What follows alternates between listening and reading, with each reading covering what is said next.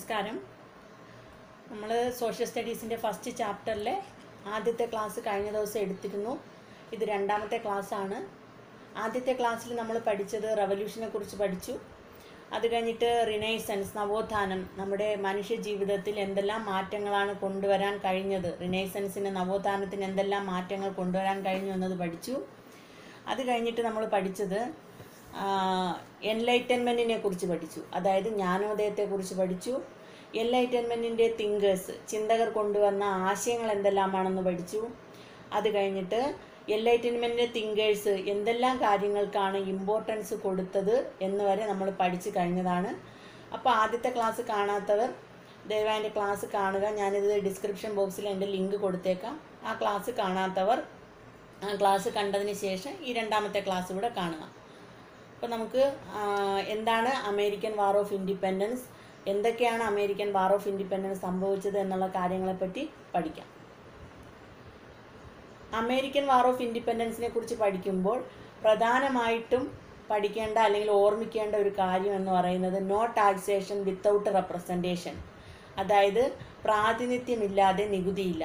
American വിപ്ലവത്തിൽ American സ്വാതന്ത്ര്യ സമര കാലഘട്ടത്ത് മുഴങ്ങിക്കേട്ട ഒരു മുദ്രാവാക്യമായിരുന്നു നോ ടാക്സേഷൻ വിത്തൗട്ട് റെപ്രസെന്റേഷൻ അപ്പോൾ അതിനെക്കുറിച്ച് പറയുന്നുണ്ട്. അത് നമുക്ക് എന്താണെന്ന് നോക്കാം. This was a slogan that thundered along different parts of North America in the second half of the 18th century പതിനെട്ടാം നൂറ്റാണ്ടിന്റെ രണ്ടാം പകുതിയിൽ നോർത്ത് അമേരിക്കയുടെ പല ഭാഗങ്ങളിലും മുഴങ്ങിക്കേട്ട ഒരു മുദ്രാവാക്യമായിരുന്നു no taxation without representation when did people demand through the slogan framed by James Otis അതായത് ഈ സ്ലോഗൻ ഫ്രെയിം ചെയ്തത് ജെയിംസ് ഓട്ടിസ് ആണ്. ജെയിംസ് ഓട്ടിസ് ഫ്രെയിം ചെയ്ത ഈ സ്ലോഗനിലൂടെ ആളുകൾ എന്താണ് ആവശ്യപ്പെട്ടത്? ആ കാര്യമാണ് അടുത്തത് പറയുന്നത്. എന്താണ് ആളുകൾ ആവശ്യപ്പെട്ടത്? റെപ്രസെന്റേഷൻ ഇൻ ഗവൺമെന്റ് അതായത് ഭരണ പങ്കാളിത്തം. ഭരണ പങ്കാളിത്തത്തെ പറ്റിയാണ് ഭരണ പങ്കാളിത്തത്തെ പറ്റിയാണ് അവർ ആദ്യമായിട്ട് അതിലൂടെ ഡിമാൻഡ് ചെയ്തത്. നെക്സ്റ്റ് ഒരു പോയിന്റ് ഞാൻ പറയാം. Don't collect tax from people without giving representation to them in administration. അതായത് ഭരണത്തിൽ പങ്കാളിത്തം നൽകാതെ അവരിൽ നിന്ന് യാതൊരു തരത്തിലുള്ള നികുതിയും ഈടാക്കാൻ പാടുള്ളത് അല്ല എന്നുള്ള കാര്യവും ആ സ്ലോഗനിലൂടെ അവർ ആവശ്യപ്പെട്ടു. അടുത്തത് the slogan was raised by the people of America as part of powerful agitation ശക്തമായ പ്രക്ഷോഭത്തിന്റെ ഫലമായി അമേരിക്കയിലെ ആളുകളാണ് ഈ സ്ലോഗനെ ഉയർത്തിക്കൊണ്ടുവന്നത് let's discuss the circumstances that led to the agitation എന്തെല്ലാം കാരണങ്ങൾ കൊണ്ടാണ് അല്ലെങ്കിൽ എന്തെല്ലാം സാഹചര്യങ്ങളാണ് ഈ പ്രക്ഷോഭങ്ങൾക്ക് കാരണമായതെന്നുള്ളതാണ് ഇനി പറയാൻ പോകുന്നത്. From the sixteenth century onwards the European began to migrate to North America പതിനാറാം നൂറ്റാണ്ടിന്റെ ആരംഭം മുതൽ തന്നെ എന്ത് ചെയ്തു? Europeans migrate to North America North അമേരിക്കയിലേക്ക് കുടിയേറി പാർക്കാൻ തുടങ്ങി. യൂറോപ്യന്മാർ പതിനാറാം നൂറ്റാണ്ടിന്റെ ആരംഭ കാലഘട്ടങ്ങളിൽ മുതൽ തന്നെ അമേരിക്കയുടെ നോർത്ത് അമേരിക്കയിലേക്ക് കുടിയേറി പാർക്കാൻ തുടങ്ങി. The major aim of the migration was to exploit the resources മൈഗ്രേഷന്റെ അതായത് ഈ കുടിയേറി പാർത്ത ഇവരുടെ പ്രധാന ലക്ഷ്യം എന്ന് പറയുന്നത് എന്തായിരുന്നു? എക്സ്പ്ലോയിറ്റ് ദ റിസോഴ്സസ് വിഭവങ്ങളെ കൈയടക്കുക എന്നതായിരുന്നു അവരുടെ പ്രധാനപ്പെട്ട ലക്ഷ്യം. By the eighteenth century England had established thirteen colonies in the eastern coast of North America by the eighteenth century എന്നാൽ എന്താ പറയുന്നത്? പതിനെട്ടാം നൂറ്റാണ്ടോടുകൂടി England had established thirteen colonies in the eastern coast of North America വടക്കേ അമേരിക്കയുടെ കിഴക്കൻ മേഖലകളിൽ England പതിമൂന്ന് കോളനികൾ സ്ഥാപിച്ചു. ഇതാണ് what are the circumstances that led to the agitation എന്ന് ചോദിച്ചു കഴിഞ്ഞാൽ എഴുതേണ്ട ആൻസർ എന്തെല്ലാം സാഹചര്യങ്ങളാണ് പ്രക്ഷോഭത്തിലേക്ക് നയിച്ചത് എന്നുള്ളതാണ് ഈ പറയുന്നത്. From the sixteenth century onward the Europeans began to migrate to North America പതിനാറാം നൂറ്റാണ്ടിന്റെ ആരംഭം മുതൽ തന്നെ യൂറോപ്യന്മാർ നോർത്ത് അമേരിക്കയിലേക്ക് കുടിയേറി പാർക്കാൻ തുടങ്ങി. The major aim of the migration was to exploit the resources അവർ കുടിയേറി പാർക്കാനുള്ള പ്രധാന കാരണം അല്ലെങ്കിൽ അവരുടെ ലക്ഷ്യം എന്ന് പറയുന്നത് വിഭവങ്ങളെ കൈയടക്കുക എന്നുള്ളതായിരുന്നു. ബൈ ദ എയ്റ്റീൻത് സെഞ്ചുറി പതിനെട്ടാം നൂറ്റാണ്ടോടുകൂടി ഇംഗ്ലണ്ട് എന്ത് ചെയ്തു? പതിമൂന്ന് കോളനികളെ ഈസ്റ്റേൺ കോസ്റ്റ് നോർത്ത് അമേരിക്ക വടക്കേ അമേരിക്കയുടെ കിഴക്കൻ ഭാഗങ്ങളിൽ അവർ പതിമൂന്ന് കോളനികളെ സ്ഥാപിച്ചു. എത്ര കോളനികളാണ്? പതിമൂന്ന് കോളനികൾ. ആ പതിമൂന്ന് കോളനികൾ ഏതെല്ലാമാണെന്ന് ഈ ചാ ഇതിൽ പറയുന്നുണ്ട് കാണിച്ചിട്ടുണ്ട്. അപ്പോൾ അതൊന്ന് വായിച്ചു നോക്കുക. New Hampshire Massachusetts Rhode Island Connecticut New Jersey Delaware Maryland North Carolina South Carolina Georgia Pennsylvania New York. ഇങ്ങനെ പതിമൂന്ന് കോളനികളെയാണ് ഇംഗ്ലണ്ട് സ്ഥാപിച്ചത്. ഇനി അടുത്തത് മൈഗ്രേഷൻ ടു അമേരിക്ക. അമേരിക്കയിലെ കുടിയേറ്റത്തെ പറ്റിയാണ് പറയുന്നത്. അത് നന്നായിട്ടൊന്ന് വായിച്ചു വെക്കുക. അതിൽ വൺ വേർഡ് ക്വസ്റ്റ്യൻസ് ഒക്കെ വരുന്നുണ്ട്. എസ് എയുടെ അടുത്ത ഭാഗം വരുന്നത് നമുക്ക് എസ് എയിൽ എഴുതാനുള്ള കാര്യങ്ങൾ വരുന്നത് അതിനടിയിലാണ് ഇപ്പോൾ ഈ മൈഗ്രേഷൻ ടു അമേരിക്ക എന്ന് പറഞ്ഞാൽ അമേരിക്കയിലെ കുടിയേറ്റത്തെ പറ്റിയാണ് പറയുന്നത്. അത് ജസ്റ്റ് വായിച്ചു വെക്കുക. അതിൽ വൺ വേർഡ് ക്വസ്റ്റ്യൻസ് ഒക്കെ വരുന്നുണ്ട്.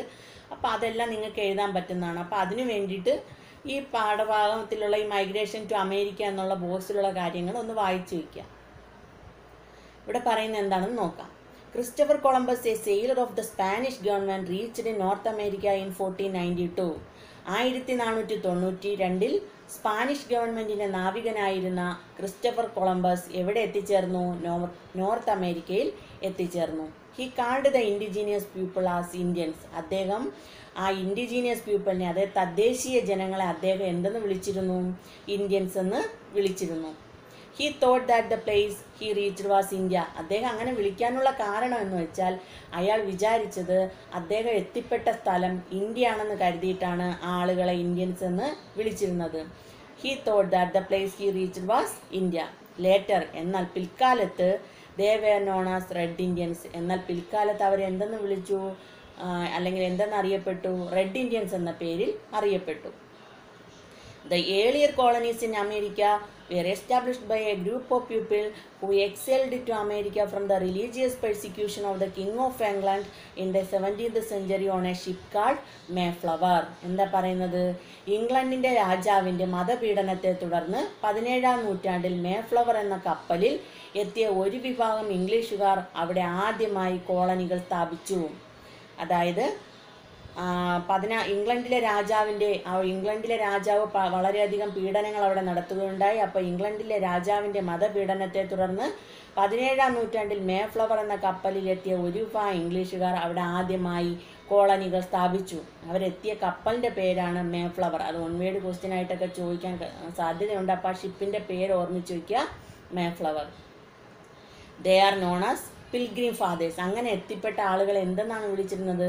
പിൽഗ്രീം ഫാദേഴ്സ് അതായത് തീർത്ഥാടക പിതാക്കന്മാർ എന്നാണ് അറിയപ്പെട്ടത്. With the increase in European migration the Red Indians were displaced to the interiors with the increase in European migration European migration കൂടി വന്നതോടുകൂടി അതായത് യൂറോപ്യൻ കുടിയേറ്റം വർദ്ധിച്ചു വന്നതോടെ the Red Indians were displaced to the interiors അവിടെ ഉണ്ടായിരുന്ന Red ഇന്ത്യൻസിനെ എല്ലാം ഉൾപ്രദേശങ്ങളിലേക്ക് ആട്ടി ഓടിച്ചു.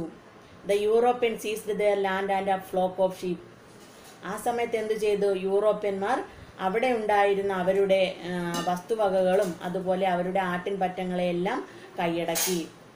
ഇനി വീണ്ടും അടുത്ത പാരഗ്രാഫിൽ വരുന്നത് നമ്മുടെ എസ് എയിലെ കാര്യങ്ങളാണ്. എസ് എയുമായി ബന്ധപ്പെട്ട കാര്യങ്ങളാണ്. The British treated the American colonies as centers for collecting raw material for their industry and as market for selling their products. ബ്രിട്ടീഷുകാർ അമേരിക്കൻ കോളനികളെ കണക്കാക്കിയത് അവരുടെ വ്യാവസായിക ആവശ്യങ്ങൾക്കുള്ള അസംസ്കൃത വസ്തുക്കൾ ശേഖരിക്കുന്നതിനുള്ള സ്ഥലമായിട്ടും കൂടാതെ അവരുൽപ്പാദിപ്പിക്കുന്ന സ്ഥലങ്ങളെ വിറ്റഴിക്കുന്നതിനുള്ള ഒരു മാർക്കറ്റായിട്ടുമാണ് അമേരിക്കൻ കോളനികളെ ബ്രിട്ടീഷുകാർ കണക്കാക്കിയത്. എന്താ പറയുന്നത്? ബ്രിട്ടീഷുകാർ the British treated the American colonies are centres for collecting raw material for their industry and as market for selling their product ബ്രിട്ടീഷുകാർ അമേരിക്കൻ കോളനികളെ കണക്കാക്കിയത്. അവരുടെ വ്യാവസായിക ആവശ്യങ്ങൾക്കുള്ള അസംസ്കൃത വസ്തുക്കൾ വാങ്ങുന്നതിനുള്ള ഒരു സ്ഥലമായിട്ടും അതുപോലെ അവരുൽപ്പാദിപ്പിക്കുന്ന സാധനങ്ങളെ വിറ്റഴിക്കുന്നതിനുള്ള ഒരു മാർക്കറ്റായിട്ടാണ് അമേരിക്കൻ കോളനികളെ കണക്കാക്കിയത്. This policy implemented by the British merchant British വ്യാപാരികളാണ് ഈ പോളിസി കൊണ്ടുവന്നത്. With the help of their motherland in the American colony American കോളനികളിൽ ഈ പോളിസി കൊണ്ടുവന്നത് ആരാണ്? ബ്രിട്ടീഷ് വ്യാപാരികൾ. ആരുടെ സഹായത്തോടെ? അവരുടെ മദർലാൻഡായ ഇംഗ്ലണ്ടിന്റെ സഹായത്തോടെ. അപ്പോൾ മദർലാൻഡ് മദർലാൻഡായ ഇംഗ്ലണ്ടിന്റെ സഹായത്തോടുകൂടി അമേരിക്കൻ കോളനികളിൽ ബ്രിട്ടീഷ് വ്യാപാരികൾ നടപ്പിലാക്കിയ പോളിസിയായിരുന്നു ഇത്. ഈ പോളിസി അറിയപ്പെടുന്ന പേരാണ് മെർക്കൻഡലിസം ഇമ്പോർട്ടന്റ് ആണ് mercantilism what is mercantilism the British treated the American colonies a centres for collect raw material for their industry and as market for selling their product. ബ്രിട്ടീഷുകാർ American കോളനികളെ കണക്കാക്കിയത് അവരുടെ വ്യാവസായിക ആവശ്യങ്ങൾക്കുള്ള അസംസ്കൃത വസ്തുക്കൾ ശേഖരിക്കുന്നതിനുള്ള സ്ഥലമായിട്ടും അതുപോലെ അവർ ഉൽപ്പാദിപ്പിക്കുന്ന സാധനങ്ങളെ വിറ്റഴിക്കുന്നതിനുള്ള ഒരു മാർക്കറ്റായിട്ടുമാണ് അമേരിക്ക ബ്രിട്ടീഷുകാർ എന്ത് ചെയ്തത്? അമേരിക്കൻ കോളനികളെ കണക്കാക്കിയത്. This policy implemented by the British merchant British വ്യാപാരികളാണ് ഈ പോളിസി കൊണ്ടുവന്നത്. With the help of their motherland in the American colonies American കോളനികളിൽ അതായത് മദർലാൻഡിന്റെ അവരുടെ മദർലാൻഡായ ഇംഗ്ലണ്ടിന്റെ സഹായത്തോടെ ബ്രിട്ടീഷ് വ്യാപാരികളാണ് അമേരിക്കൻ കോളനികളിൽ ഈ നിയമം കൊണ്ടുവന്നത്. അതുകൊണ്ട് തന്നെ ഈ പോളിസി അറിയപ്പെടുന്ന പേരാണ് മെർക്കൻഡലിസം ഇമ്പോർട്ടന്റ് പോയിന്റ് ആണ് mercantilism what is mercantilism as a part of mercantilism ഈ മെർക്കൻഡലിസത്തിന്റെ ഭാഗമായി several laws were implemented in the British colony British കോളനികളിൽ പല നിയമങ്ങളും നിലവിൽ വന്നു. ആ നിയമങ്ങൾ ഏതൊക്കെയാണെന്നാണ് താഴെ പറയുന്നത്. അഞ്ച് നിയമങ്ങൾ പറഞ്ഞിട്ടുണ്ട്. അപ്പോൾ അത് ഏതാണെന്ന് നോക്കാം. Mercantilism and mercantilist law very important ആണ്. നന്നായിട്ട് പഠിക്കുക mercantilist laws the goods to and from the colonies must be carried only in the British ship or ship built in the British colonies. അതായത് സാധനങ്ങൾ കോളനികളിൽ നിന്നോ അല്ലെങ്കിൽ കോളനിയിലേക്കോ കൊണ്ടുവരുന്ന കോളനികളിൽ നിന്ന് പുറത്തോട്ടോ അല്ലെങ്കിൽ കോളനികളിലേക്കുള്ളിലേക്കോ സാധനങ്ങൾ കൊണ്ടുവരുന്നത് ബ്രിട്ടീഷ് കപ്പലുകളിലോ അല്ലെങ്കിൽ ബ്രിട്ടീഷ് കോളനികളിൽ ഉണ്ടാക്കുന്ന കപ്പലുകളിലോ മാത്രമായിരിക്കണം എന്നുള്ളതായിരുന്നു ആദ്യത്തെ നിയമം product of the colonies like sugar wool cotton tobacco etc. Could only be exported to England കോളനിക്കാരുടെ ഉൽപ്പന്നങ്ങളായ ഷുഗർ വൂൾ കോട്ടൺ ടൊബാക്കോ എന്നിവ എവിടേക്ക് മാത്രമേ എക്സ്പോർട്ട് ചെയ്യാൻ പാടുള്ളൂ? ഇംഗ്ലണ്ടിലേക്ക് മാത്രമേ എക്സ്പോർട്ട് ചെയ്യാൻ പാടുള്ളൂ എന്നുള്ളതായിരുന്നു അടുത്ത നിയമം. British stamp must be affixed on all the legal document newspapers pamphlet licence etcetera British stamp അതായത് ബ്രിട്ടീഷുകാരുടെ സ്റ്റാമ്പ് ലീഗൽ ഡോക്യുമെന്റ് നിയമപരമായിട്ടുള്ള എല്ലാ ഡോക്യുമെന്റുകളിലും ന്യൂസ് പേപ്പേഴ്സിലും പാംപ്ലെറ്റിലും ലൈസൻസിലും എല്ലാം കൃത്യമായി പതിപ്പിച്ചിരിക്കണം എന്നതായിരുന്നു മൂന്നാമത്തെ നിയമം. Colonies must provide food and quarters for the British troops which were maintained in the colonies അതായത് ബ്രിട്ടീഷുകാർ അവിടെ കുറച്ച് സൈന്യങ്ങളെല്ലാം വിന്യസിച്ചിട്ടുണ്ട്. അപ്പോൾ ഈ സൈനികർക്ക് ആവശ്യമായിട്ടുള്ള ഭക്ഷണങ്ങളും അവർക്ക് താമസിക്കാനുള്ള പാർപ്പിട സൗകര്യങ്ങളും എല്ലാം കോളനിക്കാർ തന്നെ കൊടുക്കണം എന്നുള്ളത് കോളനിക്കാർ തന്നെ അവർ തന്നെ പ്രൊവൈഡ് ചെയ്ത് കൊടുക്കണം എന്നുള്ളതായിരുന്നു നാലാമത്തെ നിയമം. Import tax must be paid for the import of tea glass paper etcetera തേയിലയും ഗ്ലാസും പേപ്പറും എല്ലാം ഇമ്പോർട്ട് ചെയ്യുന്ന സമയത്ത് ഇമ്പോർട്ട് ടാക്സ് മസ്റ്റായിട്ട് കൊടുത്തിരിക്കണം തീർച്ചയായിട്ടും കൊടുത്തിരിക്കണം എന്നുള്ളതായിരുന്നു അഞ്ചാമത്തെ നിയമം. അപ്പം നമ്മളിവിടെ പഠിച്ചത് മെർക്കൻഡലിസം എന്താണെന്ന് പഠിച്ചു മെർക്കൻഡലിസ്റ്റ് ലാസ് എന്താണെന്നും പഠിച്ചു. ഇത് രണ്ടും ഇമ്പോർട്ടന്റ് ആണ് നന്നായിട്ട് പഠിക്കുക next Boston Tea Party The high tax levied by the British government on tea fired up strong protest in America. തേയിലയുടെ മേൽ ബ്രിട്ടീഷ് ഗവൺമെന്റ് ഉയർത്തിയിരുന്ന ഹൈ ടാക്സ് ഉയർത്തിയ ഉയർന്ന നികുതി അതായത് തേയിലയുടെ മേൽ ബ്രിട്ടീഷ് ഗവൺമെന്റ് അടിച്ചമർത്തിയിരുന്ന ഉയർന്ന നികുതി അവിടെ അമേരിക്കയിൽ എന്താണ് വളരെയധികം സ്ട്രോങ് ആയിട്ടുള്ള ശക്തമായ യുദ്ധങ്ങൾക്ക് കാരണമായി on sixteenth December seventeen seventy three ആയിരത്തി എഴുന്നൂറ്റി എഴുപത്തി മൂന്ന് ഡിസംബർ പതിനാറാം തീയതി a group of people disguised as the Red Indians boarded in the ships at night in the Boston harbour and threw three hundred forty two chest of tea into the sea എന്താ പറയുന്നത്? ആയിരത്തി എഴുന്നൂറ്റി എഴുപത്തി മൂന്ന് December മാസം പതിനാറാം തീയതി രാത്രിയിൽ റെഡ് ഇന്ത്യൻസ് എന്നറിയപ്പെടുന്ന ഒരു വിഭാഗം ആളുകൾ ബോസ്റ്റൺ തുറമുഖത്ത് നങ്കൂരമിട്ടിരുന്ന കപ്പലിലേക്ക് കയറുകയും ആ കപ്പലിൽ ഉണ്ടായിരുന്ന മുന്നൂറ്റി നാൽപ്പത്തിരണ്ട് പാക്കറ്റ് തേയില കടലിലേക്ക് വലിച്ചെറിയുകയും ചെയ്തു. This protest is known as the Boston Tea Party ഈ പാ ഇതിനെ പറയുന്നതാണ് ബോസ്റ്റൺ ടീ പാർട്ടി എന്താണ്? What is Boston Tea Party തേയിലയുടെ മേൽ ഉയർത്തിയിരുന്ന നികുതി ഉയർ വളരെ ഉയർന്ന രീതിയിൽ അടിച്ചേൽപ്പിച്ചിരുന്ന നികുതിയുടെ പേരിൽ അവിടെ വളരെ സ്ട്രോങ് ആയിട്ടുള്ള ശക്തമായിട്ടുള്ള യുദ്ധങ്ങളുണ്ടായി. ഈ അതിനുശേഷം ആയിരത്തി എഴുന്നൂറ്റി എഴുപത്തി മൂന്ന് ഡിസംബർ പതിനാറാം തീയതി രാത്രിയിൽ ബോസ്റ്റൺ തുറമുഖത്ത് നങ്കൂരമിട്ടിരുന്ന കപ്പലിലേക്ക് ഒരു വിഭാഗം ആളുകൾ റെഡ് ഇന്ത്യൻസ് എന്നറിയപ്പെടുന്ന ഒരു കൂട്ടം ആളുകൾ കയറുകയും ആ കപ്പലിലുണ്ടായിരുന്ന മുന്നൂറ്റി നാൽപ്പത്തിരണ്ട് പാക്കറ്റ് തേയില കടലിലേക്ക് വലിച്ചെറിയുകയും ചെയ്തു. ആ സംഭവത്തെ പറയുന്ന പേരാണ് ബോസ്റ്റൺ ടീ പാർട്ടി. നെക്സ്റ്റ് വന്നിട്ട് തിങ്കേഴ്സിന്റെ കാര്യങ്ങളും അവർ കൊണ്ടുവന്ന ആശയങ്ങളെ പറ്റിയാണ് പറയുന്നത്. The ideologies of some thinkers also stimulated the people of the colonies to fight against the exploitative law of the British ബ്രിട്ടീഷുകാരുടെ ചൂഷണ നിയമങ്ങൾക്കെതിരെ പോരാടാൻ അവിടെ ഉണ്ടായിരുന്ന ജനങ്ങളെ ആ സമയത്തുണ്ടായിരുന്ന ചില ചിന്തകന്മാരുടെ ആശയങ്ങൾക്ക് എന്ത് പ്രചോദനം നൽകി? Let's familiarise with those thinkers and their ideologies അപ്പോൾ ആ ചിന്തകരാരെല്ലാമാണ്? അവർ കൊണ്ടുവന്ന ആശയങ്ങൾ എന്തെല്ലാമാണെന്നുള്ളതാണ് അടുത്തത് പറയുന്നത്.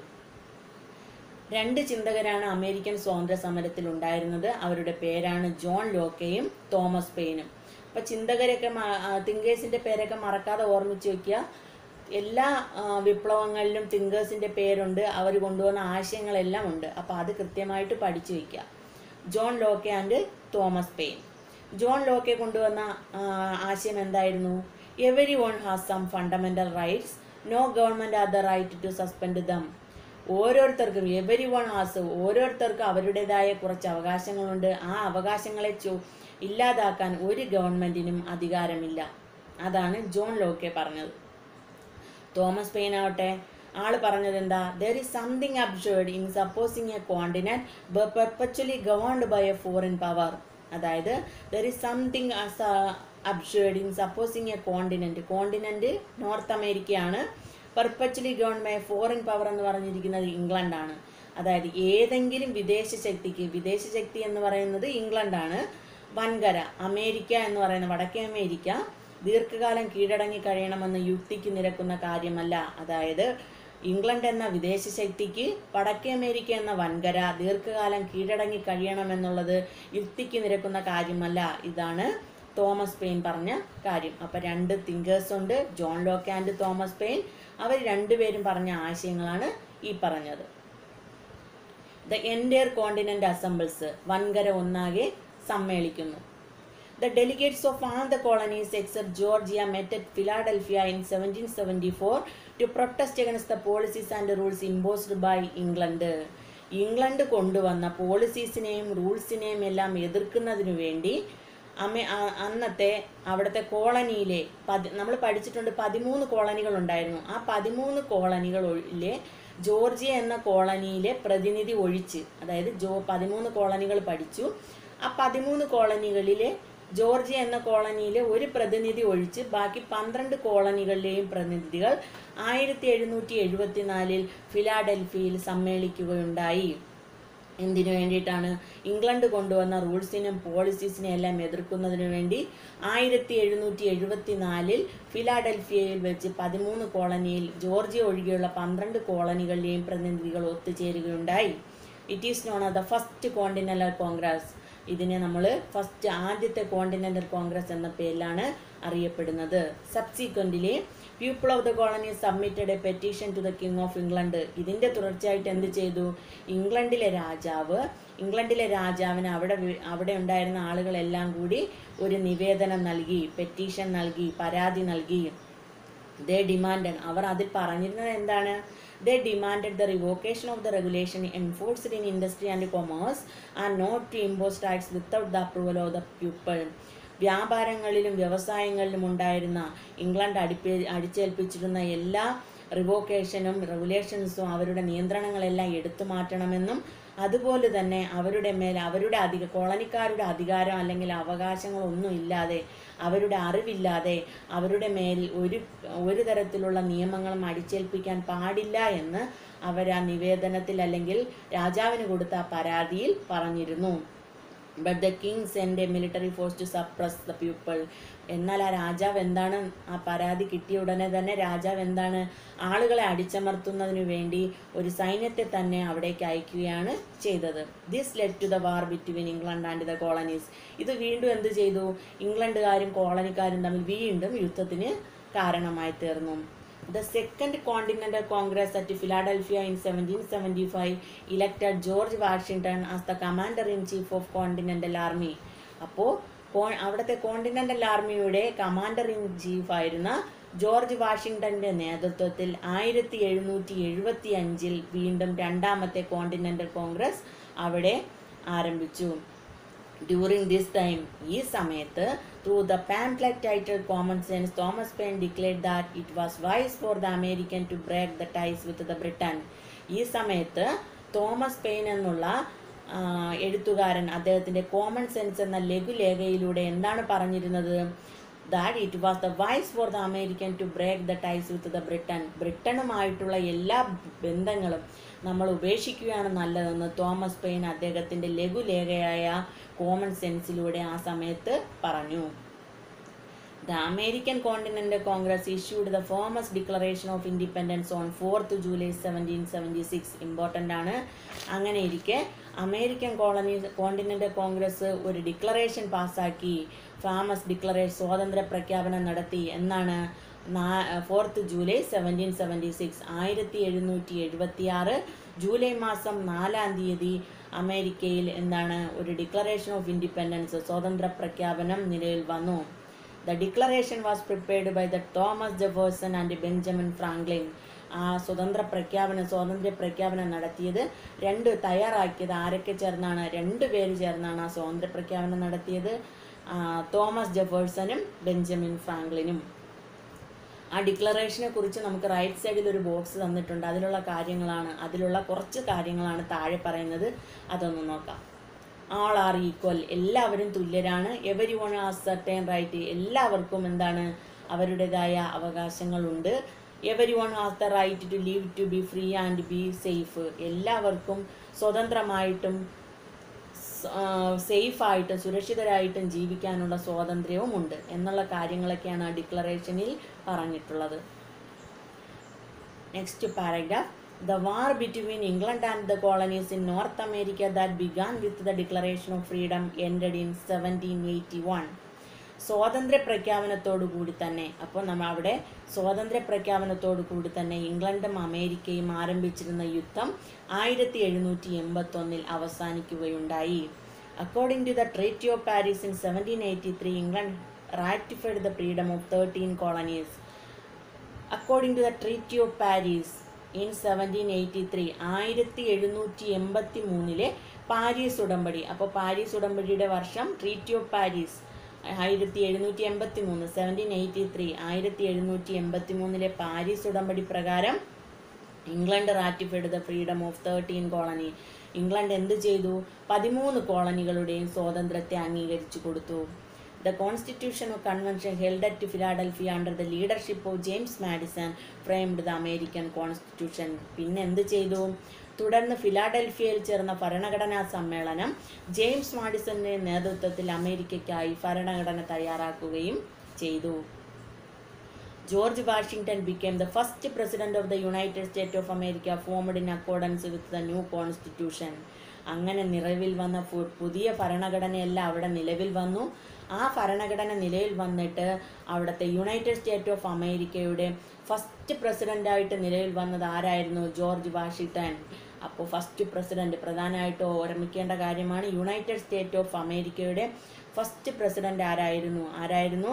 George Washington. അപ്പോൾ നമ്മുടെ അമേരിക്കൻ സ്വാതന്ത്ര്യ സമരത്തെക്കുറിച്ച് നമ്മളിപ്പോൾ പഠിച്ച കാര്യങ്ങളെല്ലാം കഴിഞ്ഞു. ഇനി വരുന്നത് അമേരിക്കൻ സ്വാതന്ത്ര്യ സമരം കഴിഞ്ഞതിന് ശേഷം അവിടെ എന്തെല്ലാം മാറ്റങ്ങൾ കൊണ്ടുവന്ന കാര്യങ്ങളെ പറ്റിയാണ് താഴെ പറയുന്നത്. The American war of independence transformed the system existed there അമേരിക്കയിൽ നിലനിന്നിരുന്ന ഈ വ്യവസ്ഥിതിയെ മാറ്റിമറിക്കാൻ എന്ത് എന്തിന് കഴിഞ്ഞു? അമേരിക്കൻ സ്വാതന്ത്ര്യ സമരത്തിന് കഴിഞ്ഞു. It greatly influenced the later history of the world in different ways ലോക ചരിത്രത്തിൽ പല തരത്തിലും പല രീതിയിലും മാറ്റങ്ങൾ കൊണ്ടുവരാൻ അതുകൊണ്ട് തന്നെ എന്തിന് കഴിഞ്ഞു? അമേരിക്കൻ സ്വാതന്ത്ര്യ സമരത്തിന് കഴിഞ്ഞു. ഇനി എന്തെല്ലാം മാറ്റങ്ങളാണ് പിൽക്കാലത്ത് ലോകത്തിൽ കൊണ്ടുവരാൻ കഴിഞ്ഞിട്ടുള്ളതാണ്? അമേരിക്കൻ സ്വാതന്ത്ര്യത്തിന് പിൽക്കാല ചരിത്രത്തിൽ എന്തെല്ലാം കാര്യങ്ങൾ കൊണ്ടുവരാൻ കഴിഞ്ഞതാണ് അടുത്ത് പറയുന്നത്.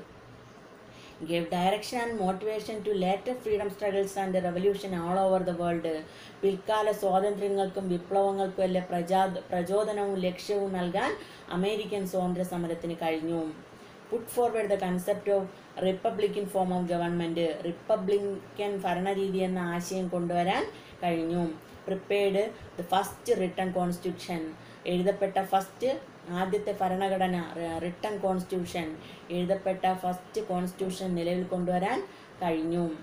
Contributed to the concept of federal system that ensured freedom and authority of state in the union സംസ്ഥാനങ്ങൾക്ക് സ്വാതന്ത്ര്യവും അധികാരവും നൽകുന്ന ഫെഡറൽ രാഷ്ട്രം എന്ന ആശയം ലോകത്തിന് നൽകുകയും ചെയ്തു. ഇതെല്ലാമാണ് അമേരിക്കൻ സ്വാതന്ത്ര്യ സമരം നമ്മുടെ ലോകത്തിന് പിന്നീട് നൽകിയ അല്ലെങ്കിൽ ശ്രദ്ധേയമായ മാറ്റങ്ങൾ കൊണ്ടുവരാൻ അമേരിക്കൻ സ്വാതന്ത്ര്യത്തിന് കഴിഞ്ഞു എന്ന് പറഞ്ഞു.